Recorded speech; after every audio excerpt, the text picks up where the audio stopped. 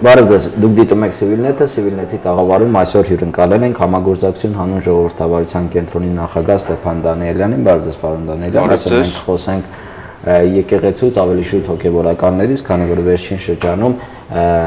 բարձրաշրջան հոգևորականների շուրջ այսպես հասարակական կարծիքի երում է, կա քննադատություն, տեղի ունեն ինչ որ իրադարձություններ, որոնք հիմնականում չեն խոսում որոշ բարձրաշրջան հոգևորականների հեղինակության մասին։ Գճոյանի դեպքը բոլորին հայտնի է։ Ֆրանսիահայ թեմի առաջնորդ Նորվան arczepiskopոսի կոնֆլիկտը կաթողիկոսի հետ։ Հետո Շիրակի թեմի առաջնորդ Միքայել Աջապայանի, այսպես պաշտպանական Ճառա Գճոյանի հանդեպ շարքը կարելի է թվարկել վերջի իրադարձությունը Գճոյանի կողմից հոգևորականի ազատումը եւ բացատրություն չներկայացնելը։ Խոսենք առաջին հերթին ինչու է եկեղեցում նման իրադարձություններ կատարում։ Միգուցե բնականon երևույթ է, միշտ էլ եղել է։ Իմ կարծիքով բնականon երևույթ է, դա միշտ էլ եղել է, եթե մենք կարդում ենք պատմությունը, ապա այնտեղ ավելի սարսափելի փաստեր կան դա մի կողմից մյուս կողմից իսկ Հայաստանում այդ որ ինստիտուտներն են ձևավորված որոնք են կարողանում բնականon ձևի գործել եւ վստահություն ունենալ հասարակությունից Այսինքն այն ինչ որ կատարում է եկեղեցու հետ եւ այն վերաբերմունքը որ կա եկեղեցու հանդեպ, դա համատարած շատ բնորոշիչ է այսօրվա Հայաստանին։ Եթե մյուս ինստիտուտների համար կարող ենք ասել, որ մենք նոր պետականություն ենք, լուչեն հասցրել կայանալ եւ այլն եւ այլն, եկեղեցու առումով չեն կարող դա ասել, որովհետև հազարամյակների պատմություն ունի, միակ ինստիտուտն է հայկական, որը չի ընդհատել իր գոյությունը պատմական որևէ ժամանակահատվածում եւ հասել է մինչեւ մեր օրերը։ Իմ կարծիքով մենք մի քիչ սխալ պատկերացում ունենք եկեղեցու մասի, երբ որ կարծում ենք, որ Գրիգոր լուսավորչից լուսավորչի սկսած գործել է մի եկեղեցի, հայ ռաքելական եկեղեցի, իրականում դա այդպես չէ։ Հայ ժողովուրդը տարբեր տարբեր կառույցների, տարբեր եկեղեցիների գերակայության տակ է եղել, որոնք ունեցել են տարբեր աստվածաբանություն, տարբեր քաղաքականություն են վարել, տարբեր կողմնորոշումներ են ունեցել եւ տարբեր դավանանքներ են ունեցել եւ դրանք բոլորը եղել են հայ եկեղեցիներ։ Դա նույն քաղաքեդոնական հայերն են, որոնց պատմությունը փորձում է ջնջել, սակայն որոշակի ժամանակաշրջանում նրանք ավելի մեծականակ են եղել։ Եվ երկրորդը հայ եկեղեցին միջև Հովան օծնեցին դա լրիվ այլ կառույց է եղել, հայր եկեղեցին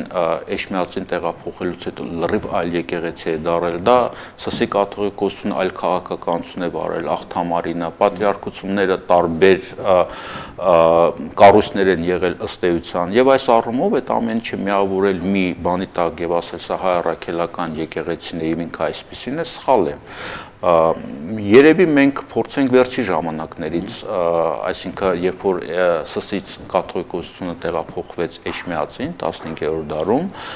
այդտեղ նոր քաղաքականություն սկսվեց մշակվել։ Խնդիրը հետեւյալն էր, հայրը փաստորեն ամբողջովին հայտնվելով սկզբնական փուլում թուրքմեն նվաճողների տիրապետության տակ հայկական եկեղեցու որոշ հայրեր Ստեփանոս Օրբելյանը հետագայում էլի մի քանի դեմքեր կային նրանցից ամենահայտնիներից մեկը Գրիգոր Տաթևացն էր, փորձեցին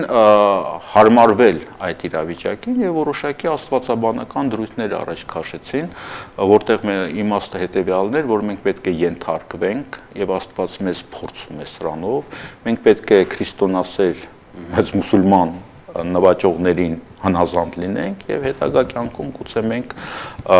կպարգևատրենք դրա համար։ Դրա եղավ Այսինքն պետություն ունենալու, վերանվաճելու գաղափարախոսությունը դրվեց արխիվում։ Դրվեց արխիվում եւ գուցե այդտեղ կային օբյեկտիվ պատճառներ, որովհետեւ Կիլիկիայի Կիլիկիայի պետություն անկումից հետո դա մեծագույն հարված էր հայկական մտածողության վրա եւ փաստորեն այդ Էշմիածին տեղափոխելով փորձին այդ իրավիճակին հարմարվել դեպ հիմքում դրեց այդ պահպանողական գոյատևելու Միջև երբ հասավ դա։ Դա ստեյության միջև այսօր այդ մտածողությունը կա դա առանձին ունենալու պայման։ Իմ կարծիքով այո, բայց դա երևի մի քիչ առանձին քննարկման թեմա էր, որովհետեւ խորթային շրջաններ եւ հիմիկվա այս շրջաներ, այդ դա փորձենք մենք քննարկել։ Սակայն ես ասում եմ հիմքը եւ երկրորդը, երբ որ մենք ասում ենք հայ եկեղեցին հին եւ կայացած եկեղեցի է, ես համաձայն չեմ, որովհետեւ նայեք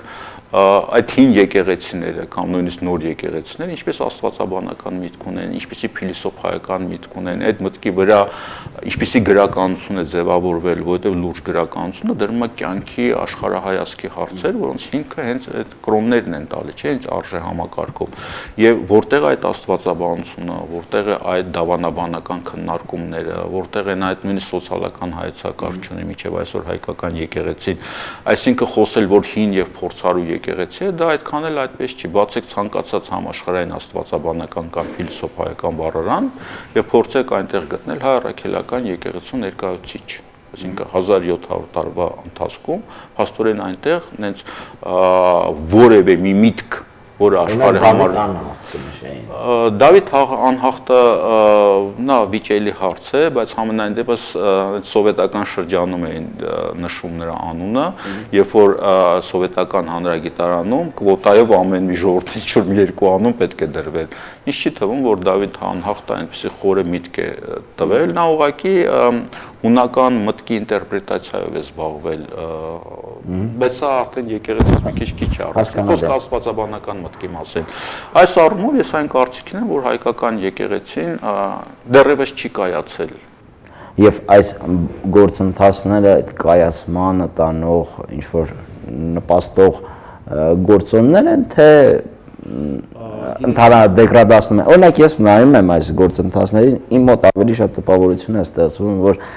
նման հոգեվորականների գործունեությունը ընդհանրապես նման գործընթացները ավելի շատ դեգրադացնում են եկեղեցուն քան օգուտ են տալիս կայացման։ Իհարկե միանշանակ դեգրադացնում են, բայց այդ դեգրադացումը ունի իր պատճառները։ Եթե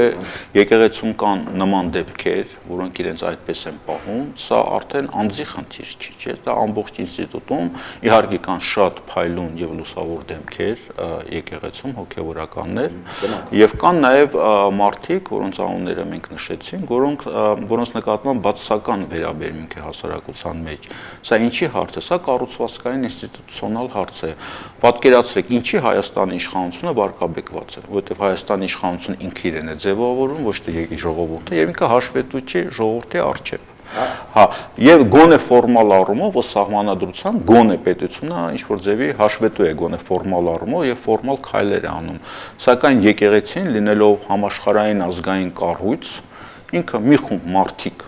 այնտեղ ինչ որ ձևի հայտնվել են եւ իրենք որոշումներ են կայացնում եւ ոչ ոքի արժեվ հաշվետու չեն ոչ իրենց քաղաքականության առաջ ոչ այդ ֆինանսների համար որը ազգային հարստություն է, չէ, մարդիկ գարեգին չեն նվիրում, հա, հայ հասարակությունը ոչ ոքի չեն հաշվետու չեն։ Նայեք, եթե չկա կառույցի մեջ որևէ հաշվետվողականություն, որևէ պարտավորություն հասարակության առաջ, այլ ինքը իր մեջ է եւ ինքն էլ բավականին այնց կենտրոնացած կառույց է, այսինքն ում ուզի ըստ էության կաթողիկոսը կարող է կարգալույծել անի, չէ։ Այսինքն պատժի, որովհետեւ իհարկե այնտեղ ձևական մի ֆորմա կարող 4 եպիսկոպոս, 4 եպիսկոպոս կարող են ինչ-որ դեղ իրենց համաձայնությունը պետք է տան եւ այլ, բայց իրականում մենք հասկանում ենք դա ձևական բնույթ ունի։ Եվ այս առումով այդ նման կառույցները, տոտալիտար կառույցները չեն կարող լինել առողջ։ Դա բնական երևույթ է։ Հաշվետվության հետ կապված վերջերս երկու դեպք եղավ, որը ամեն դեպքում մտահոգող է պատասխանատվությունը հասարակության առաջ եկեղեցու մեկը Կճոյանի հետ էր կապված, երբ լարագրողը նրան հարցրել էր Տեր Հակոբ, եթե չեմ սխալվում, հրաժարականի մասին այդտեղ տեղափոխվելու հետ կապված, նա կարծեմ ասել էր, որ ես պարտավոր չեմ ձեզ հաշվետվություն ներկայացնել, եթե պատասխանեմ այդ հարցին, եւ երկրորդը Աճապայանի փաստաբանական Կճոյանի նկատմամբ փաստաբանական հարցազրույց է, որտեղ նա ասում է դե 300.000 ստորագրություն էլ հավաքվի, ըստ էության որևէ որոշիչ դերակատարություն չի ունենա։ Սա կարծրացած գաղափարախոսության արտահայտությունն է, թե այս երկու մարդու ուղակի մոտեցումն է եկեղեցու գործելավոճին գիտեք ինչ, ես այդ մարդկանցով եկեք չփորձենք ամբողջ հոգեվորականներին, ասենք, պիտակավորել եւ ասել բոլորը այդպես են։ Իհարկե բոլորը այդպես չեն, բայց այդ երկու դեպքերը, դեպքերը կարելի է կարելի է շարունակել, որովհետեւ նման դեպքեր շատ են լինում, դա սա բնորոշիչ է։ Գիտեք ինչ, այդ մարդկանց համար հաշվետվություն տալ արդեն իսկ վիրավորական է։ Ոչ թե դա իրենց պարտավորությունն է։ Հետո նայեք հոգի շատ հոգևորականների, եպիսկոպոսների պահվածքը, չէ՞, ասենք իրենց գորոս քայլվածքը, գորոս խոսելը, մեծամիտ եւ ճորոն բառերի օգտագործումը, այդ դա դա ոչ է եւ շատ դեպքերում դա հատուկ մտածված ոչ է եւ իմ կարծիքով հենց էջմիածնում շատերին սովորացնում են հոգևորականներին, ձեզ պահեք մեծամիտ, որպեսզի ձեզ հարիկեն, գլուխները բարձր պահեք, տենց արհամարական պատասխանեք, որտեղ երբ որ դու արհամարում ես, դու բարձր ես, հա, իսկ նրանք 2-300 հազար ովքեր են նրանք։ Եվ հաշվետվություն տալը դա ամոթ է, արժանապատվությանը վիրավորող ամոթ է։ Այս այն մտածողությունն է, որը նաև մտնում է ժողովրդի մեջ եւ դարերով մտած եղել, կարծում եմ եկեղեցուց է դա եկել, այդ մեծամիտ պահվածքը, որ գիտես ես ես ով եմ, իսկ դու ով ես, հասկանում ես այդ բանը, որ նույնիսկ մենք կենցաղային դեպքերում դա տեսնում ենք, չէ՞։ Դու գիտես ես ով եմ, ես ում կկանչեմ, ես ում ծանոթն եմ, ում բարեկամն եմ, իսկ դու ով ես։ Այսինքն օրենքից վեր լինել նվաստացնել դիմացինին, այսինքն ցույց տալ, որ օրենքը քո համար կգործի որպես պատիժ, իսկ ինքը համար չի գործի, ես բարձր եմ, դա արժանապատվության դրսևորում է եւ այդ դրսևորումը առաջերտին այդ նույն հոգեվորականների մոտ կա եւ շատ դեպքերում, եթե մենք գնում ենք այլ եկեղեցիներ, նույն եթե գնա կաթոլիկ եկեղեցի եւ այլն, չեմ ասում կաթոլիկ եկեղեցու նույնպես շատ բաներ են կատարվում, որոնց մասին մենք լսում ենք, չէ, ինչպեսի բաներ չկրկնենք ինչեր են կատարում, բայց համենայն դեպս այնտեղ կա դրվածք, երբ որ հոգեվորականը, երբ մարդ ուզում է դառնա հոգեվորական, իրեն աշխատում են, դու պետք է ասենք լինես հեզ դեմքով, կարող է եւ հեզ չես իրականում, խնդիրը դա չի, բայց դու պետքա ցանկացած մարդունից ամենավերջի աղքատին եւ ամենա բադ վիճակում գտնվող մարդուն ցույց տաս որ դու պատրաստ ես իրեն ծառայելու քու ձեռքերը ինչպես պետք է դնես նույնիսկ գլուխդ պետք է խոնարհես եւ այն հռոմի պապը որ գնում խոնարհում այն որ մեկի ոտն է բաճում եւ ինչ անում ասենք իմանց երեխայի կամ բանի դա առաջի հայացքից ձև է բայց այդ ձևը շատ կարեւոր բան է հա դա նաեւ փիլիսոփայություն մտածողություն հա մտածողություն է փոխում դա այդ ինստիտուտի պաշտոնական փիլիսոփայությունն է, կարող է մեկի մոտ ձև լինի, մյուսի մոտ իրոք աշխատի, բայց դա պաշտոնական մոտեցում է։ Իսկ մեզ մոտ ըստ էության պաշտոնական մոտեցում մեծամիտ լինել, արհամարել, այ դա է եկեղեցու դե, դրվածքը, որը ինքը չի ձևավորվել որպես կառույց։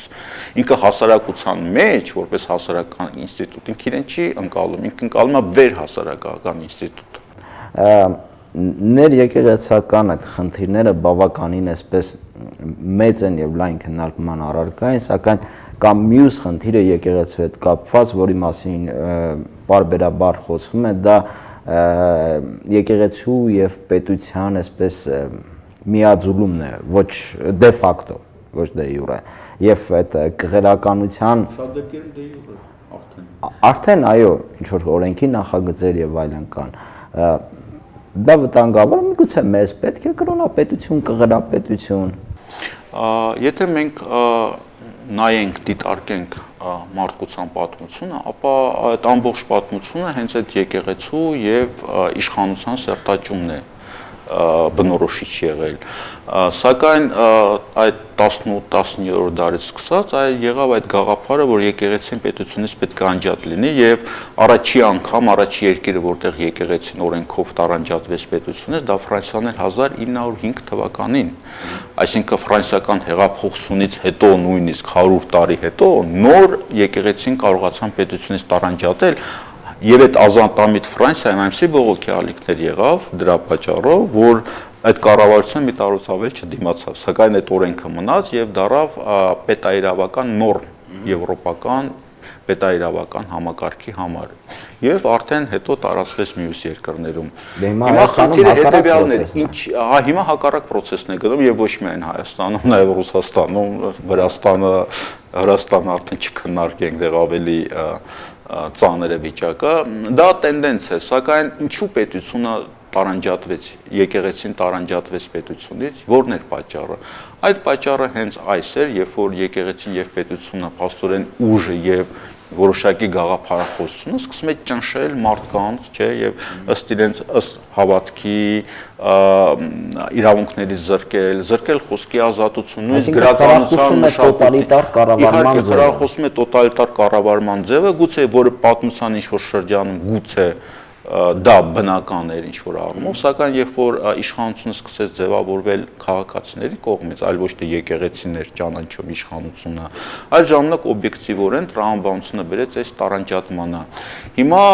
այդ ձգտումայի պետության հետ, ավելի շուտ իշխանության հետ սերտաճելու, դա մենք բոլորս հասկանում ենք ինչի համար այնտեղ կան որոշակի հնարավորություններ եւ կոռուպցիոն եւ բիզնեսով զբաղվելու, հարկեր չմուծելու, օրենքի առաջ մեջ անհավասար լինելու եւ պատասխանատու չլինելու եւ այլն եւ այլն։ Բնական է դա ամեն ինչը շատ հաճելի է, բայց պետք է հասկանան հոգեվորականները, որ իրենք իհարկե բնականաբար հաճելի է, սակայն նրանք կկորցնեն եւ կքայքայեն այդ ինստիտուտը, որովհետեւ մյուս երկրներում դրա հետևանքով այդ եկեղեցիները ուղակի կորցրել են իրենց ազդեցությունը եւ այդ դեպքում պետք չի բողոքել, որ մյուս կրոնական ուղություններն են արդեն հեղինակություն ունենում Հայաստանում, չնայած եթե օբյեկտիվ լինենք, այն աղմուկը, որ անդադ բարձրացնում են, որ աղանդավորներ եւ այլն, աղանդավորն չակերտներով իհարկե դա շատ հիմար է։ Դրա ուղղակիորեն մեղադրեց աղանդավորները։ Դրա համար դրա համար պետք է օրենք լինի եւ նման բառ օգտագործողները պետքա պատժվեն, ինչի համար, որովհետեւ դու Հայաստանի քաղաքացիներին իրենց սահմանադրական իրավունքը օգտվելու համար դու իրենց արժանապատվությունը նսեմացնում ես։ Հատկապես դա արդեն քրեական պատասխանատվություն կլինի եւ ըստ եվրոպական նորմերի եմ ասում, որոնք գործում են Հայաստան, եթե դա պետական պաշտոնյան է օգտագործում, սակայն դա առանձին խոսակցություն է։ Եվ վերջին հարցը. Այսքանից հետո կարող ենք հաստատապես պնդել, որ հայ առաքելական եկեղեցում առաջացել է ֆունդամենտալ ռեֆորմների անհրաժեշտություն։ Իհարկե առաջացել է եւ կարծում եմ եկեղեցում շատ շատերը դա հասկանում են, որ սա ոչ միայն եկեղեցու խնդիր է, սա նաև պետականության խնդիր է, ինչի համար, որովհետև որքան էլ եկեղեցին պետությունից անջատ լինի, դոմինանտ եկեղեցին ինքը շատ մեծ ազդեցություն ունի եւ եթե եկեղեցին գնում է տոտալիտար ճանապարհով եւ եկեղեցու հետ սերտաճելու ճանապարհով, ու վարկաբերվում է այդ գլխավոր ինստիտուտը։ Իսկ եթե ինքը գնում է այլ ուղղությամբ, ինքը շատ կարևոր դերակատարություն կարող է ստանալ հասարակական կյանքը կարգավորելու, քաղաքացիական հասարակարգը ձևավորելու, դե այդ սոցիալական գիտակցությունը եւ Վրաստանում եւ նա կա եկեղեցու ազդեցությունը շատ դեպքերում դրական է եւ շատ դեպքերում բացասական է, շատ դեպքերում խիստ բացասական է։ Սակայն այս առումով ես կարևորում եմ եկեղեցու դերը, ես չեմ ասում, որ եկեղեցին պետք չի անելիք չունի, սակայն հիմիկվա անելիքը բացասական է, այդ ռեֆորմները շատ կարևոր են, շատ անհրաժեշտ են եւ դա ոչ միայն եկեղեցու խնդիրն է։ Շնորհակալություն հյուրընկալվելու համար եւ հետաքրքիր զրույցի համար։ Հիշեցնեմ, որ այսօր մենք զրուցում ենք համագործակցություն հանրժողովրդավարության կենտրոնի նախագահ Ստեփան Դանելյանի հետ։ Տեսություն եւ ամենայն բարիք։